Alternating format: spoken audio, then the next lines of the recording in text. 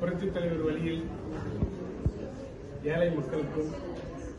உதவி என்று வந்தவர்களுக்கும் வாரி வாரி வழங்குகிறேன் வழங்குகிறேன்